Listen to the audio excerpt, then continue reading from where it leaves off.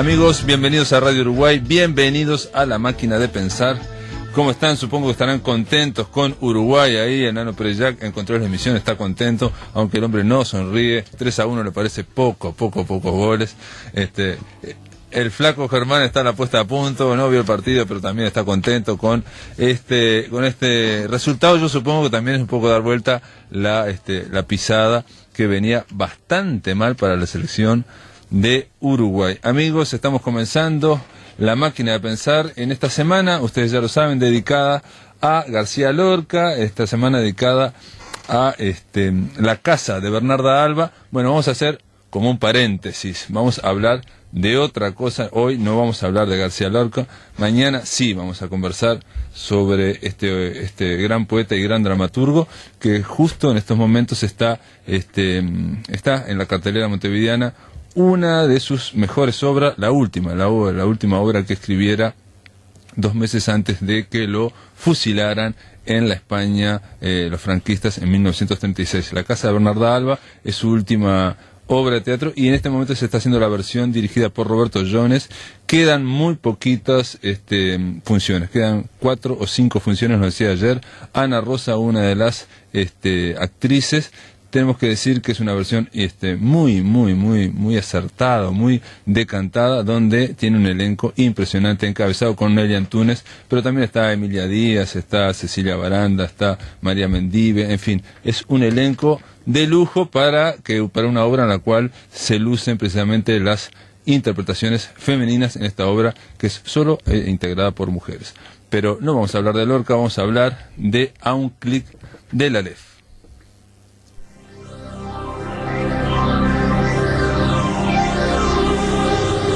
A un clic de la LEF. Nos subimos al mangrullo de la máquina para escrutar el horizonte virtual. A un clic de la LEF. Fernando da Rosa nos invita a buscar nexos, vínculos y cruces entre la cultura, las tecnologías y la comunicación. A un clic de la LEF.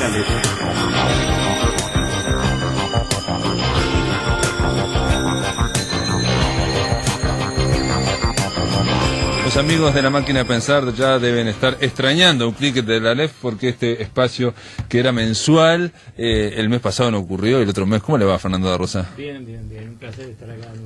Usted se está haciendo desear, no viene un par de meses, entonces para que la gente espera. A ver, ¿de qué, de qué vamos a hablar en, en este espacio? Bueno, hoy tenemos un invitado especial, el ingeniero Daniel Viñar, este, un amigo además, este, con el que estuvimos hace poco participando de un foro en el Parlamento, un foro sobre software libre, organizado por, por la Comisión de Ciencia y Tecnología del, del, Parlamento, que es la que está estudiando el proyecto de ley que se presentó hace unos cuantos años atrás y ahora parecería que de nuevo lo sacaron del, del cajón y, y lo están estudiando para, para llevarlo a cámara, ¿no?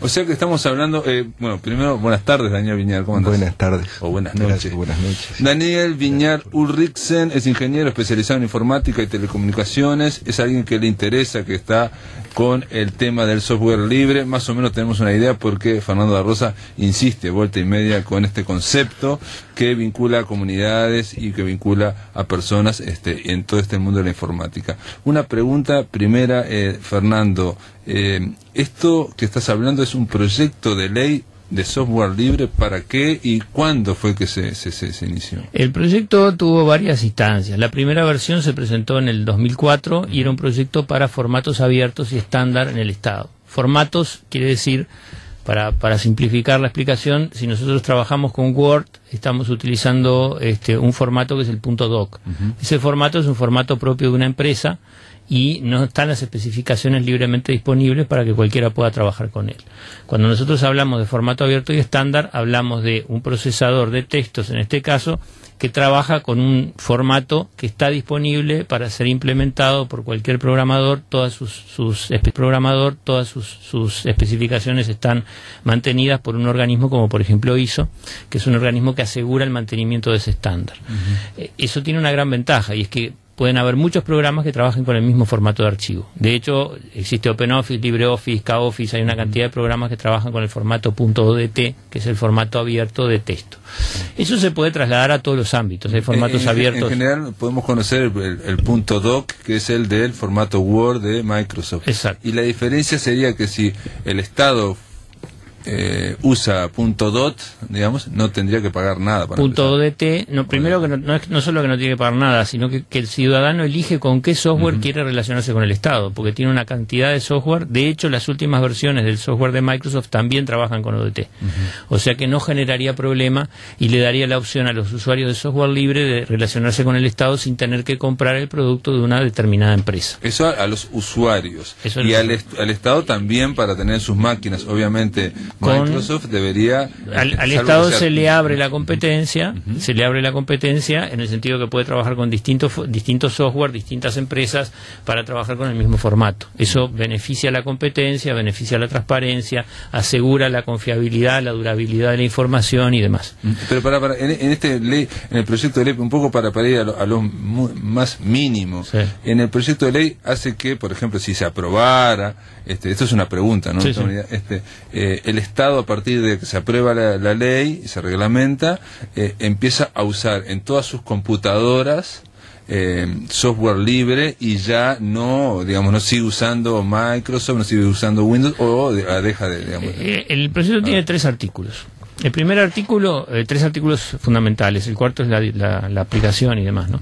El primer artículo habla de usar formatos abiertos y estándar. En eso nadie lo discute en este momento, no hay ninguna agencia gubernamental, ni AGESIC, ni ningún actor de- relacionado con el gobierno, ni siquiera la CUTI discute que sea un artículo bueno, porque hoy en día está aceptado en todo el mundo que hay que trabajar con formatos abiertos y estándar a la- nivel del sí, Estado. La CUTI, perdón. La, la Cámara Uruguaya de Tecnologías de la Información, que es la que eh, reúne a las empresas más importantes de software. Eso de- es privado, Uruguay. Eso es privado. Este, estuvo, estuvo un representante de la CUTI en el foro, después con Daniel te podemos a- a- nos podemos extender sobre eso en particular. Yo quería aclarar los conceptos Sí, nada más ahora. Este, entonces, el primer artículo habla de los formatos abiertos estándar. El segundo artículo es el que dice que el Estado debe dar preferencia al software libre y en caso de que para una función específica, por ejemplo, un software específico que no existe su correlación dentro del software libre, se podría usar de forma fundamentada software privativo. O sea, software que no brinda las cuatro libertades del software libre. Ese es el artículo que está en discusión, que algunos actores de gobierno y demás han dicho que están a favor del software libre, pero no de que se aplique por ley. La CUTI dice más o menos lo mismo, o sea, es una forma de decir, no queremos, no queremos la ley sin decir que están en contra del software libre. ¿no? Y el tercer artículo dice que se debería utilizar software libre en la educación, además del software utilizado actualmente en los programas actuales. Sobre este proyecto, además, hubo eh, algunos aportes de CESOL, que es un- una asociación para promover el software libre que se ha creado acá en Uruguay, y del OPP. Este, que lo llevaron al foro, esas planteos. Hubo aportes de, de Marcelo Branco, que es uno de los asesores de Lula, que estuvo en el foro. Hubo aporte de la gente de Solar, que es una asociación para software libre de, de Argentina. O sea que fue un foro muy rico. este, bueno, yo, a mí me gustaría que diera Para- para- para- Daniel para- un poco de su... un- Una cosa antes de, de ella hablar con Sí. Daniel, tenemos todo el programa. Sí. Este, primero, bueno, lo que pensé es eh, aquella historia de que Lula, el primer gobierno de Lula, fue de los primeros en América Latina que implementó desde el Estado este, el software libre. Lo Con- recuerdo porque yo trabajaba en su momento en la universidad y se había planteado como posibilidades de- de- para probar el Open Office. Es muy Y interesante donde yo la- estuve no resultó eso, digamos. Pero esa sería la pregunta chica. La grande, después, respondeme la, de, la de Lula y Sí. después te voy a pedir que recordemos a la, a la audiencia cuáles son las cuatro, este, digamos, eh, principios del software libre. Sí. El, el, el tema es el siguiente. Lula lo que hizo fue a- a tras- trasladarse o, o ir hacia el software libre por decretos, por decretos o por decisiones ejecutivas. Más o menos lo mismo que hizo Chávez en Venezuela, pero de una manera mucho más inteligente Lula en Brasil. Este, por ejemplo, es, es muy gracioso porque hay un video de, de- de Lula cuando ya el, el- el pasaje del Estado de software libre estaba demostrando que era un éxito. Eh, lo tengo inclusive en mi sitio web eh, colgado el video donde, donde Lula dice, cuando, cuando Marcelo y toda esta gente del software libre me vino a hablar del software libre y demás, yo no estaba muy seguro si estaba haciendo bien o si estaba haciendo mal. Me di cuenta que estaba haciendo bien cuando me empezó a llamar muy seguido Bill Gates por teléfono. ¿no? Eso lo dijo el presidente de Brasil. sí, sí, sí, sí. Entonces, el, el tema es ese, o sea, el- hay muchas formas de pasar a software libre. Ahora, Marcelo, que estuvo en el foro, nos dijo, ojalá Uruguay de este paso de aprobar esta ley porque haría punta en América Latina. Y los argentinos dijeron lo mismo, o sea que los, proyectos de ley han tenido problemas en todos lados porque hay un lobby muy grande de, la industria del software privativo contra estos proyectos de ley, ¿no? Esa es una realidad incontrastable. Y, con relación a las libertades, eh, las libertades fundamentales son la libertad de uso con cualquier tipo de, de propósito, no tenés ningún tipo de limitación porque hay algunos software privativos que por ejemplo no se pueden usar en determinados países o no se pueden utilizar con determinadas finalidades, eso está en la licencia. En el caso del software libre, la libertad de uso es absoluta. La libertad de estudiar el, software y modificarlo, para eso es necesario tener el código fuente.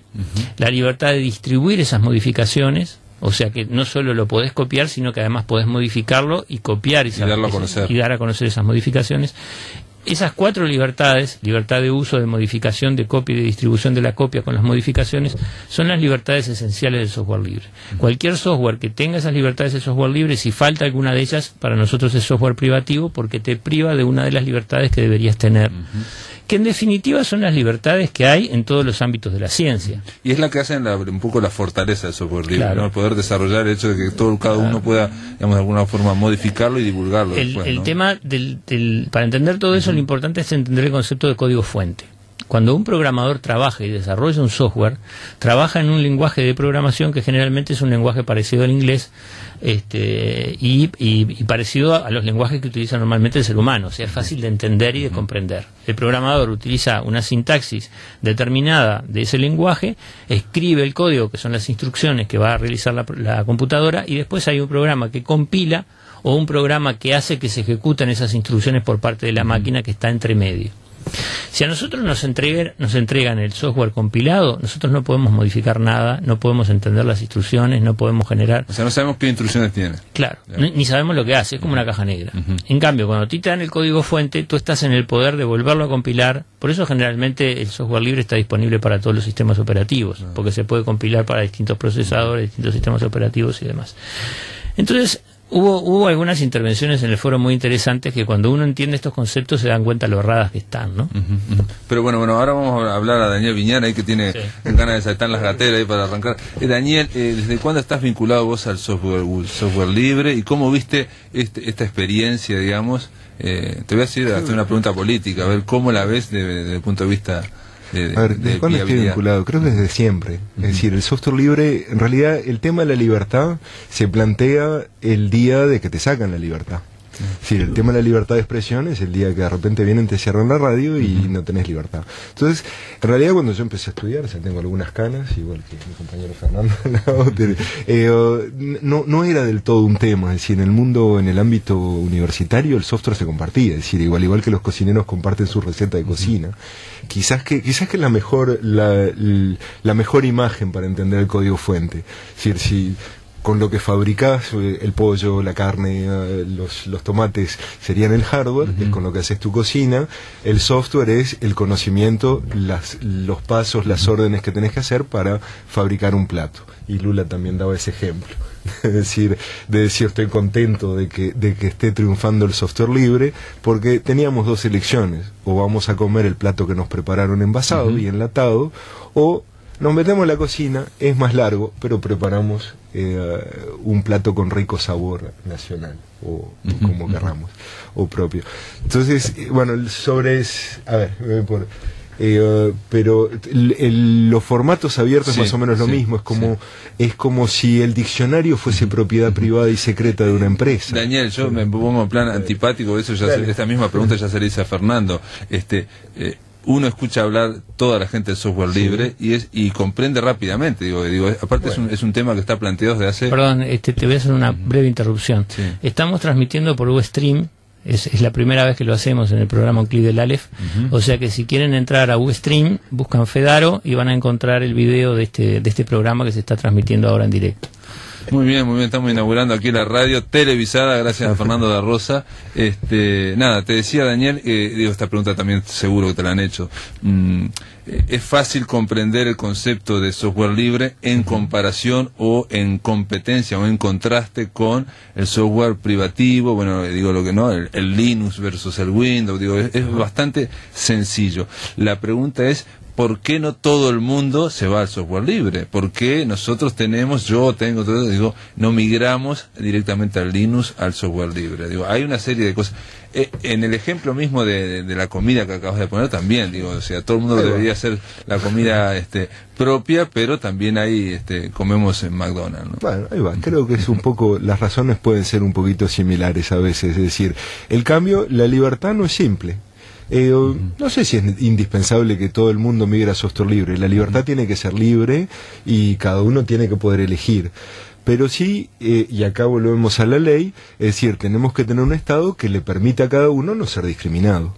Ah, yo pienso que además el software libre va a ir ganando terreno, como viene ganando muy amplio terreno, es decir, hay, en realidad tenemos una, una visión muy, ah, muy de lejos y tenemos la impresión en, la, en, en el software de escritorio de oficina, de computadoras, domina aún en gran mayoría el software privativo, es cierto. Ah, no obstante, si vemos en los servidores, en el Internet, siempre hubo una inmensa mayoría de, servidores con software libre. Es decir, cuando usan Internet desde siempre, atrás están accediendo a una máquina que tiene en 90, digo, no, vamos, no pero en la mayoría de los casos, y siempre tuvo, ha subido, bajado, pero siempre fue software libre lo que hay detrás. En los celulares está cada vez más, si bien existieron unos 10, 20 años de los primeros celulares con software privativo del mismo constructor más ligado a las telecomunicaciones. Hoy en día lo que se está viendo es el Android, hubo un proyecto Symbian que más o menos está, pero e, e, incluso Microsoft está abriendo su, su, su, software para su sistema operativo para celular porque ve que es la única manera de poder competir, es permitirle a otros que vengan a contribuir y que el mismo eh, fortalece fortalece el programa. exactamente. Y el tercer el tercer campo es lo que se llama la, la informática embarcada. Es decir, todo lo que es hoy en día en, eh, en, un, en una puerta, en, una, en, cualquier aparato electrónico, hoy hay software. Antes se hacía solo con electrónica, hoy se hace primero programando una cantidad, haciendo una cantidad de cosas lógicas y al final solo se pone adentro de un bicho electrónico, un router, un punto, no sé, una antena del plan Ceibal, uh, un coche hoy en día, un cajero automático. ahí adentro también eh, hoy en día hay cada vez más software libre. No sabría dar cifras y decir que es mayoritario, pero se está entendiendo. hay, ejemplos concretos. por ejemplo, la Wikipedia funciona 100% en base a software libre, los servidores están en Ubuntu. Eh, y, eh, Jimmy Wallace es un partidario de software libre, utilizan en, toda, la, en toda la organización, utilizan software libre. Google se fundó y existió y es una de las principales empresas de informática que hay en este momento en el mundo gracias a que existía software libre, porque los dos estudiantes había existido los dos estudiantes de Stanford que desarrollaron Google, lo hicieron en base a Linux y después se convirtió en una gran empresa de hardware y una gran empresa de software y se da el caso de que no liberan porque la licencia no lo obliga, si uno no libera el software a entregar el código fuente, entonces eso llevó también a una modificación de la licencia GPL para, para hacer que cuando no se, está, se está brindando servicio a través de Internet haya que liberar el código. En fin, hay toda una movida que es dinámica en, esto del software libre, ¿no? Pero nosotros tenemos empresas uruguayas que trabajan con software libre y venden servicios al exterior. Tener Fen Office, por ejemplo, que es un buen ejemplo, es una empresa uruguaya que trabaja con, software libre, este, eh, trabajan con un, brindando a distancia un servicio similar al del Office, este, cobran por una mensualidad por darte el servicio y hay empresas, inclusive la Cutis cliente de Fen Office, hay empresas de todo tipo en, en nuestro país que trabajan con, incluso empresas del exterior hay otro ejemplo que es JPOS, es una empresa uruguaya que desarrolló el software para hacer el, tráfico en los bancos con las tarjetas de crédito, que se está utilizando en este momento en 70 países y eh, fue desarrollado acá en Uruguay, el desarrollador principal está acá en Uruguay y, cuál es el modelo de negocio? Bueno, brindar servicios. No te cobran la licencia, te cobran los servicios. Muy bien, después de la pausa, si te parece, volvemos aquí con la máquina de pensar. Estamos conversando sobre software libre con el ingeniero Daniel Viñar y con Fernando da Rosa aquí en un, en un clip de la LEF. En el aire de Radio Uruguay, la máquina de pensar. Estoy conversando con Fernando da Rosa y con Daniel Viñar, ingeniero este especializado en informática y telecomunicaciones. Estamos conversando sobre el software libre, sobre este reciente foro realizado en el Parlamento, eso fue el inicio, por esta posibilidad de que haya un, no, de que haya un, una ley sobre el software libre para que, a ver si lo entendí bien, para que el Estado uruguayo eh, maneje primordialmente o preferencialmente en sus este, equipos informáticos este, el software libre. Obviamente esto debe tener después en aplicaciones muy específicas. Yo pensaba, yo que sé, vos que Fernando estás en el hospital de clínica, si alguien tiene, no sé, este, un equipo de estos súper sofisticado y viene con un software especial para eso, obviamente ahí el Estado no va a decir, no, no, que se haga primero software libre. Digo, eso es obvio que, se cae madura. La ley dice que en el caso de que no exista una opción de software libre, se podrá usar software privativo fundamentando la razón. O sea que no estamos sí, sí, sí, que en ese caso, algo eh, fundamentalista que diga, no, todo software libre, no importa lo que se pierda, no. pero, incluso en ese caso creo que es importante que se le dé preferencia, porque también hay casos de aparatos tecnológicos de último nivel que están yendo hacia software libre. Recientemente hay el caso de una mujer militante de software libre que pidió que el software de un marcapaso que le estaban poniendo sea software libre y lo logró y de cierta manera, y hay, por ejemplo, hay cantidad de investigaciones en las cuales de repente se, eh, cuando haces una investigación científica, por la mitad se usa un software privativo. Eh, una cosa fundamental en la investigación es de poder reproducir o refutar el resultado que, se hizo. Entonces, ¿cómo lo haces si es software privativo? Y, no, es decir, no solo es una cosa teórica, es que concretamente se ha dado. Eh, se, da, por ejemplo, hay un equipo en el que participa el Uruguay y la Facultad de Ingeniería de eh, procesamiento de imágenes, en el cual están haciendo una revista en la que solo se publican papers, eh, de los cuales el algoritmo de procesamiento de datos para hacer esa, ese procesamiento de datos tiene que estar y tiene que haber una implementación en línea y claramente da otros resultados, es decir, se llega a otra investigación que es la que dice, ah, sí, hizo una transformada de Fourier. Claro, ah, pero y el software que lo hace, lo hace. Es la, es la digamos, eh, digamos, eso me parece claro, es el fortalecimiento que tiene, y por eso mm, Fernando planteaba el tema de la Wikipedia, que está hecha por muchísima gente y es abierta, se va generando y va creciendo en comparación, digo yo, porque ahora ya, ya, ya, es un ejemplo viejo, con la enciclopedia en carta que tenía Windows, que en su momento todo la teníamos, no sé qué, no sé cuánto, y eso ya dejó de hacerse porque se fue superando, eh, es decir, Wikipedia en estos 10 años o más. Era imposible que compitieran en carta con miles y miles de Wikipedia. Y sobre todo cobrando. pero más, más aún, digo, el Encarta no fue más que una pequeña enciclopedita de, familiar. Eh, hoy han habido estudios científicos como cual hoy la Wikipedia es más precisa científicamente que la británica la enciclopedia británica, que hasta entonces era la referencia enciclopédica. Entonces, y hay, hay procesos para hacer eso, es decir, toman al azar eh, tantos artículos. Te referís al estudio de la revista Nature. Exacto. Eh, la revista Nature hizo un estudio, le entregó artículos de la Wikipedia de la británica a 50 expertos, y si bien encontraron que tenía un poco más de errores, la diferencia era mínima, en, cuanto a un poco más de errores de la enciclopedia, de la Wikipedia en inglés. Tenía 124 errores en esos 50 artículos la británica y 160 la Wikipedia en, inglés, con la diferencia de que tenía el doble de texto para la misma cantidad de artículos, o sea que los errores por cantidad de texto eran menores en la Wikipedia. Eso causó un revuelo, inclusive una protesta de la enciclopedia británica. La, revista Nature se afirmó en su postura porque estaban los, los 50 expertos que habían sido este, tomados como referentes y se mantuvo en sus 13. Y hoy en día la británica reconoce que la enciclopedia, que la Wikipedia es una fuente valiosa. este, por supuesto que tiene este, los problemas propios de una enciclopedia que cualquiera puede editar. Y que se va, se va formando, digamos, muchas públicamente. Veces, Muchas veces ha pasado que programas de, radio, y te lo digo con propiedad porque ha pasado en varios países, inclusive un caso acá en Uruguay, este, programas de radio que salieron diciendo, miren qué error garrafal que hay en la Wikipedia en este artículo este, y lo dijeron eh, tres minutos después de que el error se había incluido en la Wikipedia y estudiamos cuál era la IP y la IP era la IP de la radio. O sea que la radio había entrado a la Wikipedia, había puesto ese disparate para, para generar una noticia para después transmitirla. Claro, pero la misma comunidad Wikipedia tiene mecanismos internos para, para ir bloqueando algunas páginas que pueden ser problemáticas. Es decir, justamente se va mejorando el proceso de edición de la Wikipedia, que es permanente y no como el de una edición. Y esa es un poco la filosofía del software libre, se va a otro plano. Es un software que mucha gente como está el código fuente disponible, lo ve, lo, lo modifica y lo mejora. Y además puede sacar derivaciones. Fíjate lo que pasó con OpenOffice. Tú contabas que habías tenido una experiencia fea con OpenOffice, tal vez fue en los inicios. sí, sí, voy a contarlo ahora, lo voy a contar. Capaz que porque me, parece, me parece interesante para pensar ahora en el Estado, para pensar en el proyecto de ley, para pensar en las posibles resistencias, porque esto eh, es lo que yo te decía Daniel y fuera de micrófono, digo, si esto fuera, digamos, eh, lineal el argumento y fuera, digamos, este casi unilateral, podríamos decir, el software es libre, entonces debería todo el mundo usar software libre porque en realidad eh, tiene todas las este todas las virtudes y casi ningún defecto, digamos.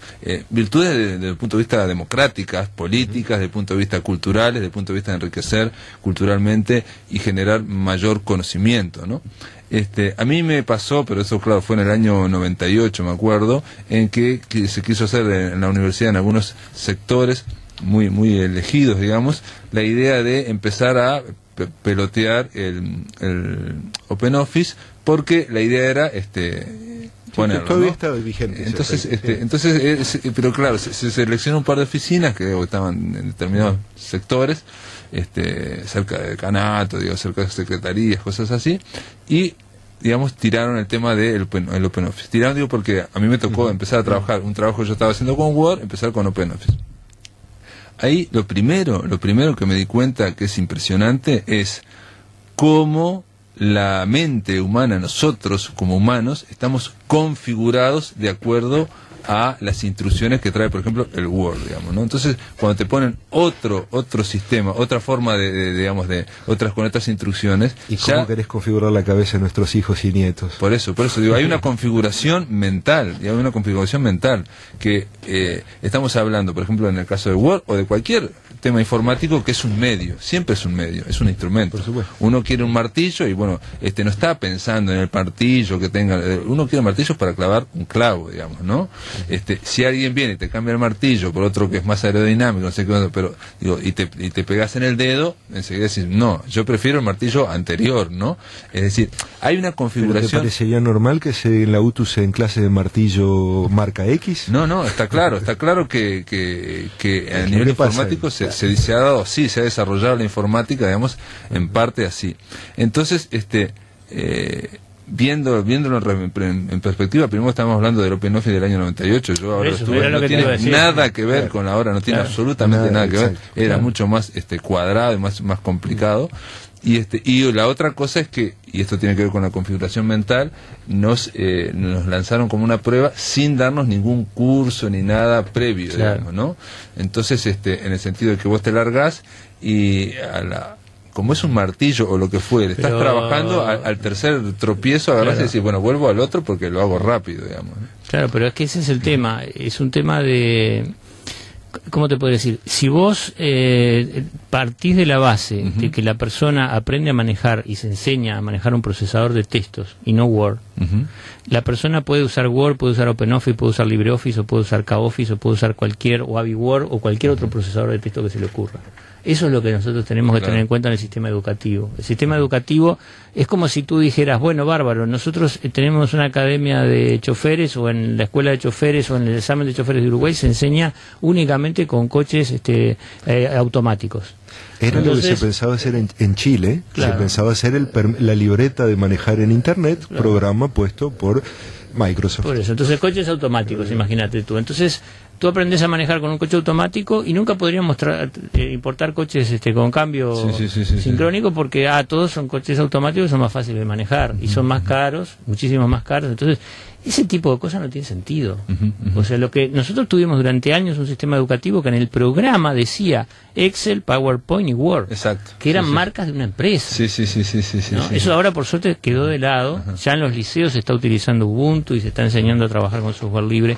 Y si alguien aprende a trabajar con OpenOffice y, y, y, porque en la empresa donde entra usan Word, quiere usar Word, aprende en 10 minutos. Sí, sí, sí. El tema es, este, digo, para poner un paralelismo, digamos, para la audiencia que no se pueda eh, capaz comprender esto que queremos decir o que yo quiero decir, digamos, es este eh, los operadores en la radio, aquí la gente que trabaja en radio tiene que usar para este determinados programas para audio, ¿no? Este, y en general se eligen, elijo uno, elijo otro, este es bueno para esto, este, digo, y no hay uno, no está, la, digamos, la cabeza de, los, de la gente que trabaja en audio acá no está configurada. De hecho, ocurre con otros programas, digo, para bajar, para, para bajar. Hay radios que funcionan con software libre. Exacto. Lo hemos eh, armado eh, algunas. Claro. máquinas recuperadas, software libre. La tribu en Argentina, sin más este, pero no, te, cuento una experiencia personal. Cuando, cuando empezó a trabajar 180, este, ellos optaron. El portal 180. El portal 180 optaron por usar software libre. De hecho, el portal está construido todo con, con, software libre. Y adentro de la empresa decidieron empezar a usar software libre y nosotros les instalamos Audacity y Ubuntu. Y había algunos editores que no querían saber nada porque estaban acostumbrados a trabajar con un software privativo que según ellos era más fácil, más rápido y demás. Y era cuestión de aprender a usar los botones, y aprender a usar los menús y empezar a, trabajar de nuevo. Pero lo que se podía hacer pegando audio era exactamente lo mismo. Y entonces ahí vamos a lo que sería la configuración, digamos, mm, eh, eh, de los trabajadores, de la mente, de las personas que trabajan, de los usuarios, de los usuarios informáticos. Entonces, en este en este proyecto, digamos que es, eh, que, que la idea sería desde, desde arriba el Estado empieza a, ¿no? A, derramar el software libre en sus, este, en sus reparticiones, eso va a generar, puede generar este, choques. Mira, a, mí me parece que si el primer punto, tú me preguntabas antes si, si uh, ¿por qué no todos usamos si es tan bueno usamos? Exacto. Que, quizás que los que somos defensores del software libre somos apasionados y pensamos que es bueno, y pero efectivamente en término concreto también tiene problemas y, no todo software libre es perfectamente maduro. Creo que decir que es mejor es mejor en el principio a futuro y en su metodología. Eh, de vez en cuando también puede no funcionar. Y sobre todo, la situación es que el que es dominante en un dominio tiene poder y tiene capacidad de influir. Creo que lo primero que exige y que reivindica la comunidad de software libre y los usuarios es no discriminación. Es decir, tenemos eh, entonces, hoy es día genial porque nos vienen a decir a través de que se necesita neutralidad tecnológica, los que practicaron 30 años de discriminación tecnológica violenta y, realmente desleal, digámoslo concretamente, y gruesa. Eh, y cuando digo violenta también a veces en cosas concretas eh, o monetarias, digamos. Um, y, y, hoy en día nos hablan de neutralidad tecnológica. Es decir, el tema, por ejemplo, que vos decís del OpenOffice, la dificultad de leerlo, ¿Por qué, por qué eh, duró más de 10 años en aceptar de leer OpenOffice en Microsoft? Porque tenía el dominio, porque decía, y, hace 10 años decía, pero ¿para qué necesitan hacer un formato abierto si todo el mundo usa punto .doc? Y hoy en día dice, ah, qué bueno, eh, ahora eh, sí, en realidad está bien hacer formatos abiertos y, y, estándares, pero ese que hicieron no me gusta, mejor este. Eh, y te ponen una cosa de más de 6.000 páginas de especificaciones que no funcionan. Esa fue otra batalla que hubo, la batalla del OpenXML a la que se refiere. Ahí va. Saltó, saltó un director de la ISO por la mitad, no me acuerdo decir. Entonces, por decir, el, el, primer punto quizás que, más allá de qué consecuencias tenga concreta en el Estado, es al menos un signo que el Estado, el representante de, de, los ciudadanos y que elegimos, tiene una tendencia de marcar un rumbo para para en primer lugar que no haya discriminación y permitirle a su gente que está laburando uh, concreto en informática poder compartir. Por ejemplo, hace no tanto me contaban, conozco menos ese asunto, pero que había una voluntad de que eh, un, una, un ministerio o una entidad pública no le pueda dar a otro un software, eh, que eso esté prohibido por ley que se lo tenga que volver a comprar a la Hubo un proyecto de decreto que finalmente no prosperó. Bueno, que no prosperó. Fue, reconocido por la CUTI, además. Fue reconocido que había y hoy dicen que era un error.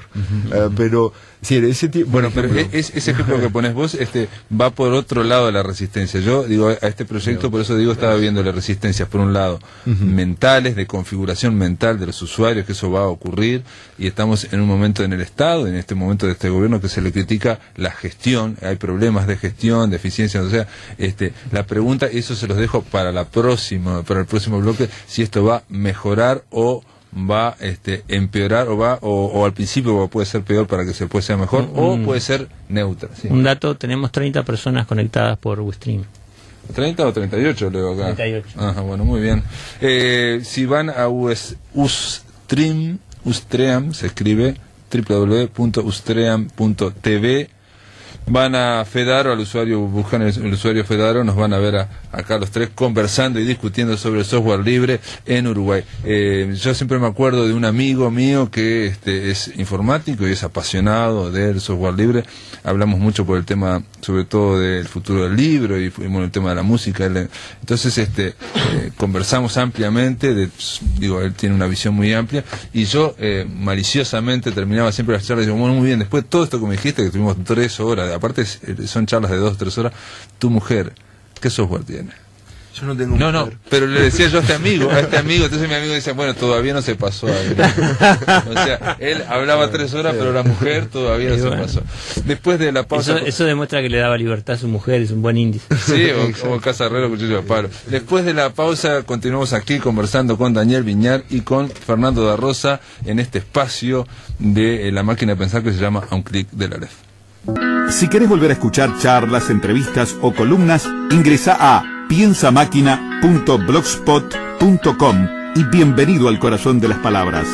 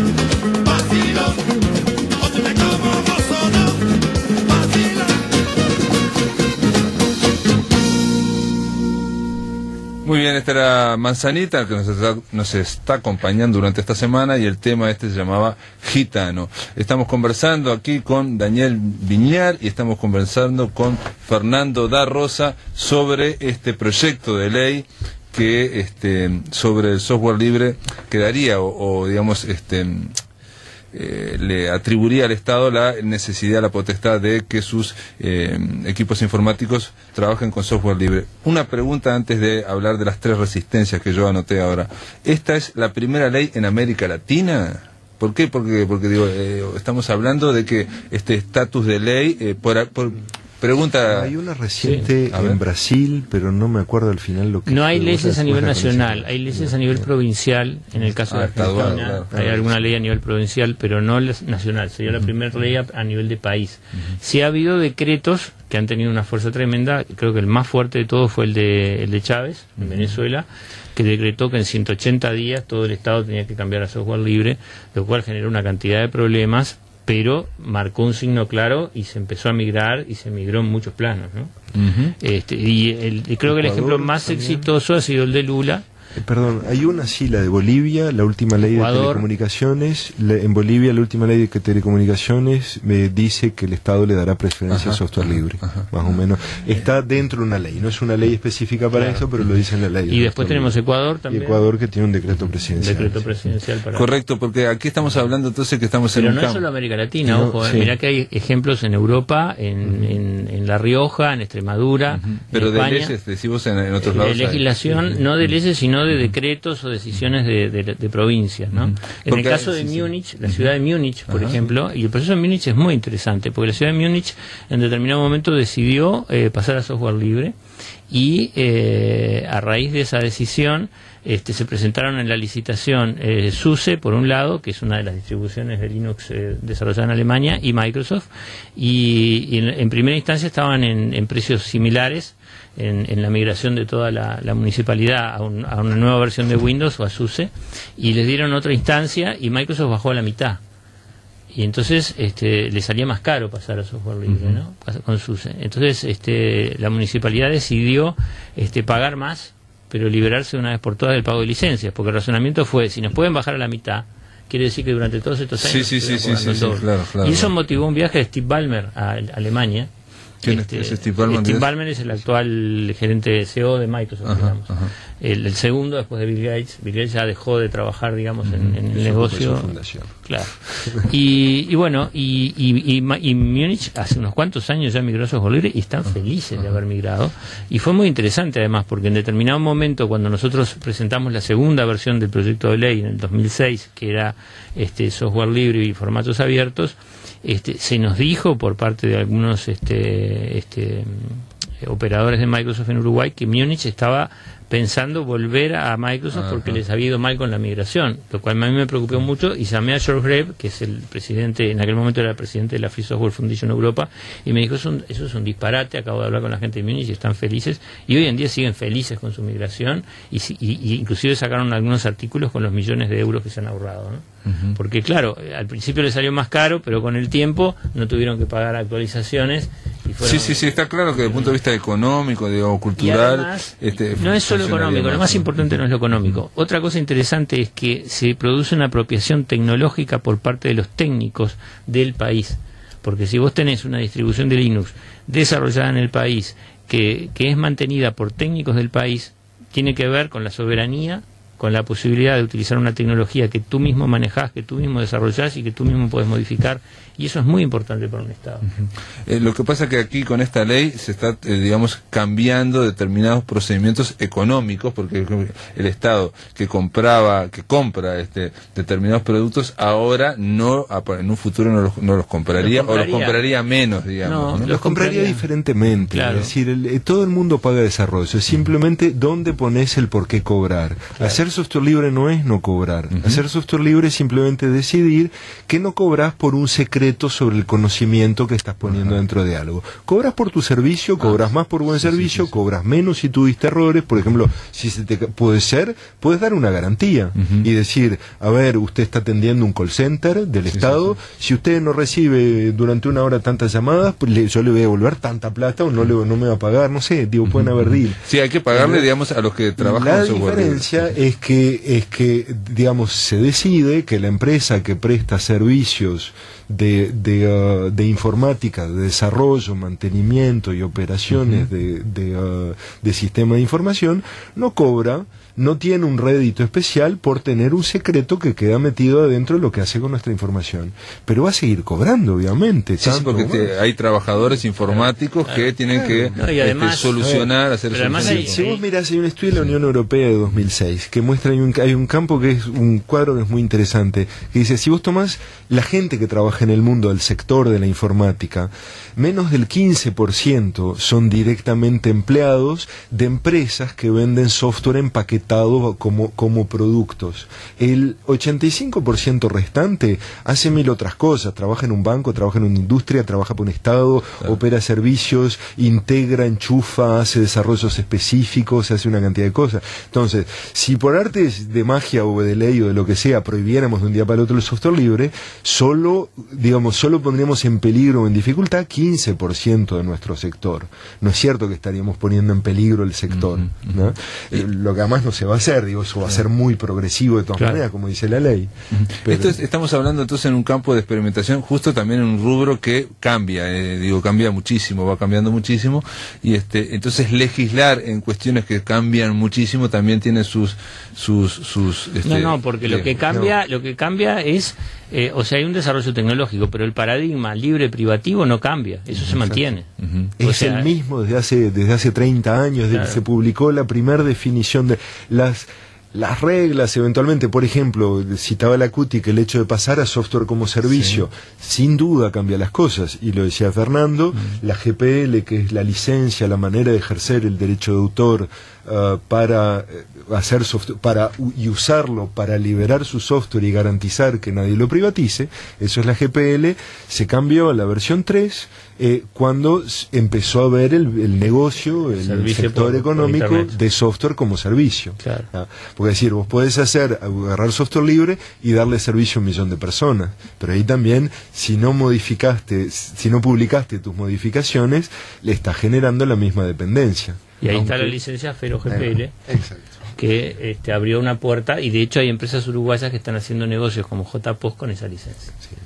la última pregunta, pues se nos terminó el programa, esto obviamente da para mil, mil preguntas más, pero digo, este, eh, esto, esta ley de aprobarse significaría un cambio importante para eh, el funcionamiento del Estado uruguayo y para el, desarrollo del software, por lo menos, o, un cambio importante, un cambio, ¿no? En Uruguay. ¿Qué, ¿Qué, pasa con la migración? Porque digo, tiene, tiene, hay, hay una está planteado, esto que planteaste vos, porque digo, obviamente... La migración es un tema que hay que estudiar muy bien y hay que, y hay que ir haciéndola de forma escalonada y eh, con muchísimo cuidado. ¿Qué sería la migración? A ver, la migración es pasar del software privativo al software libre. O sea, el, software, que está ahora, que lo están usando... Primero habría que empezar a usar formatos abiertos y estándar.